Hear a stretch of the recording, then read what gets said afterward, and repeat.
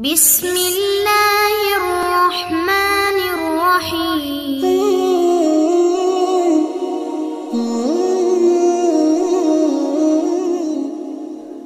മനസ്സിന്റെ ദിക്കറിന്റെ പ്രത്യേകത എന്താണ് ജിന്നുബാധ ഏൽക്കുന്നത് പോലെ തന്നെ മനുഷ്യബാധ ഏൽക്കുന്നത് ആർക്കാണ് അതെങ്ങനെയാണ് സംഭവിക്കുന്നത് മഹാനായ ഇമാം അബുൽ ഖാസിമുൽ കുഷൈരി റളിയല്ലാഹു അൻഹു പറയുന്നുണ്ട് ദിക്കർ ഒരു മനുഷ്യന്റെ ഹൃദയത്തിൽ ആയിന്നിറങ്ങി സ്ഥാനം പിടിച്ചാൽ ആ മനുഷ്യന്റെ അടുത്ത് വരുന്ന പിശാചിന് മനുഷ്യബാധയേൽക്കും.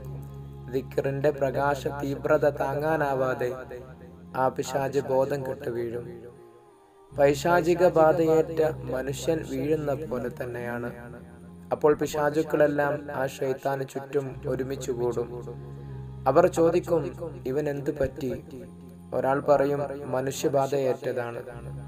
മഹാനവർകൾ പറയുന്നു രഹസ്യമായ ദിക്കറിനെ ദിക്റുൽ കൽബ് ഈ രഹസ്യമായ ദിക്കറിനെ നന്മ എഴുതുന്ന മലക്ക് അള്ളാഹുവിലേക്ക് ഉയർത്തുകയില്ല.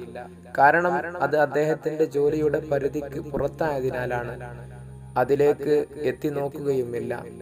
മനസ്സിന്റെ ദിക്കറ് അള്ളാഹുവിന്റെയും അടിമയുടെയും ഇടയിൽ രഹസ്യമാണ്.